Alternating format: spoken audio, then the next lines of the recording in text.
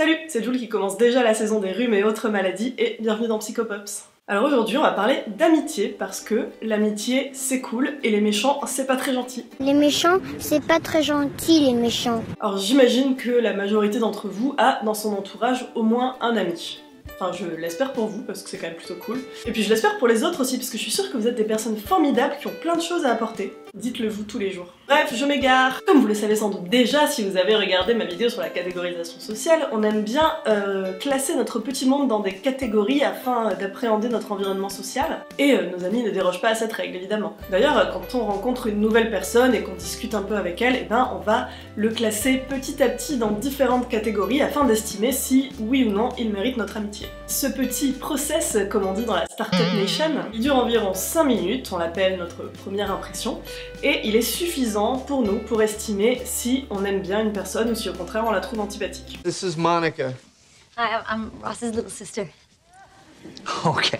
Évidemment, à ce stade-là, on n'en sait vraiment pas assez pour avoir un avis objectif sur une personne, et du coup, ce qu'on va faire, c'est juste spéculer à partir du peu d'informations qu'on a. Et forcément, on va sans doute lui attribuer des traits qu'elle n'a pas. Je sais pas si vous vous souvenez, la vidéo sur l'effet de halo, hein, euh, quand euh, quelqu'un a euh, un critère super positif, on va avoir tendance à penser que tous les autres critères sont aussi positifs. Je vais pas vous refaire le résumé, Qu'est-ce qui est tombé? Je vais pas vous refaire le résumé, allez voir l'épisode 12. Je sais pas pourquoi je vous dis ça de manière agressive. Bref, trois psychologues du nom de Horowitz, Lyons et Permuter ont justement voulu tester la précarité de cette première impression. Et euh, à la différence de ce qu'on a pu voir précédemment euh, dans les expériences sur la catégorisation ou sur l'effet de halo, cette fois ben, l'expérience va concerner nos rapports directs à autrui. Je m'explique.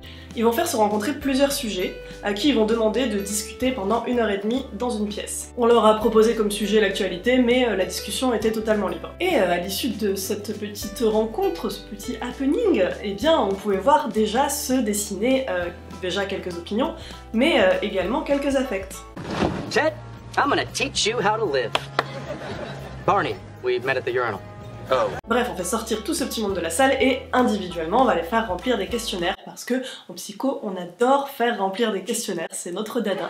Dans la première partie du questionnaire, on leur demande de donner leur opinion sur chacune des personnes à qui ils ont parlé, euh, sur une échelle allant de euh, fortement antipathique à fortement sympathique. Ensuite, on va leur demander de s'exprimer sur des sujets d'actualité, pas forcément ceux dont ils ont discuté avec les autres, hein. ça peut être n'importe quoi. Euh, êtes-vous de droite ou de gauche? Que pensez-vous de Donald Trump La coiffure de Kim Jong-un pour ou contre? Et ensuite, pour chacune de ces questions, on va leur demander si chacune des personnes qu'ils ont rencontrées pense pareil qu'eux ou non. Sur une échelle de euh, cette personne n'est pas du tout d'accord à cette personne est tout à fait d'accord avec moi. C'est pas clair Pour simplifier, mettons que vous veniez de sympathiser avec Josiane, mais que euh, par contre vous êtes pas du tout entendu avec Sylvette. Alors vous dites bah j'aime pas Trump parce que c'est pas très gentil les méchants. Du coup d'après vous, est-ce que Josiane aime Trump? Est-ce que Sylvette aime Trump Et donc pour ce qui est des résultats, eh bien les sujets vont avoir tendance à attribuer les mêmes opinions qu'eux aux gens qu'ils ont bien aimés. Et à l'inverse, ils ont tendance à attribuer les opinions à l'opposé des leurs aux gens qu'ils n'ont pas aimés. En gros, dans votre cas, ça voudrait dire que, d'après vous, euh, Josiane n'aime pas du tout Trump, mais alors par contre, Sylvette, elle est complètement euh, Make America Great Again. Make America great again. Alors que si ça se trouve, c'est l'inverse.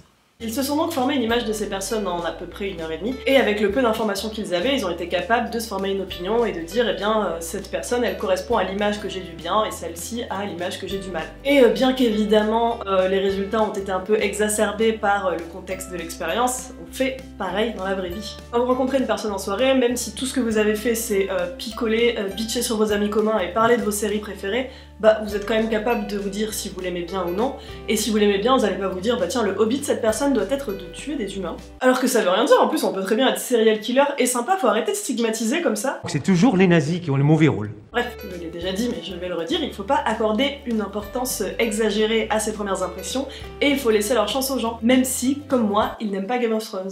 Et vous alors, vous vous faites des amis en 5 minutes. Au contraire, vous n'aimez personne même après une heure et demie. Vous m'aimez bien moi quand même. Eh bien je vous propose de vous abonner si ce n'est pas déjà fait, et bien sûr de partager cette vidéo afin que tout le monde la voit, de mettre un petit pouce en l'air pour le référencement, de mettre des commentaires pour le référencement, mais aussi et surtout pour qu'on puisse communiquer entre nous, et bien sûr de parler de Psychopops à tout le monde, à votre boulanger, à votre pharmacien, à vos parents, à vos amis, euh, à votre patron. En tout cas moi je vous dis à très vite et surtout n'oubliez pas de sauvegarder régulièrement quand vous jouez aux jeux vidéo parce que ça peut faire rager énormément de perdre sa partie lors d'une coupure de courant.